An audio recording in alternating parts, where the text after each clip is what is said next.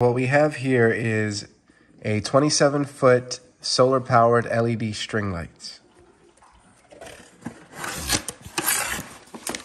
Here's the operation manual. Also in the box, we have a couple of thank you cards. Here's that solar panel. It's got an on and off switch. Oh. It's already connected to the lights. Oh,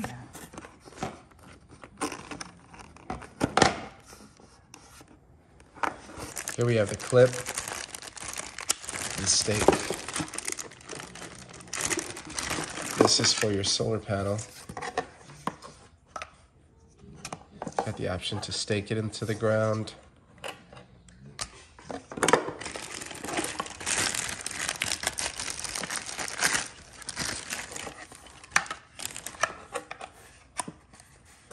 Or you could clip it. Also comes with few anchors and screws. So you also have the option to mount it. Takes two screws. And here are the lights.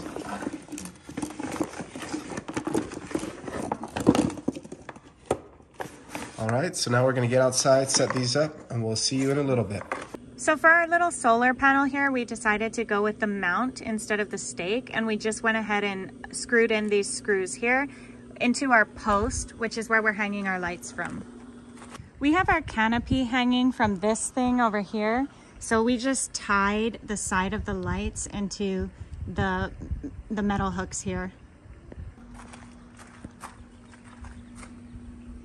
And then on this side, we used a command strip to hold it and then we also used a command strip down here just to hold it in place. Unfortunately, it was a little bit too long, so we have two light bulbs hanging on the side of the, the post, but it's okay. It's not gonna be bad. But this is the end result. And we're really, really happy with it. They're so cute. We're gonna get one more to go on the other side so that it's evened out.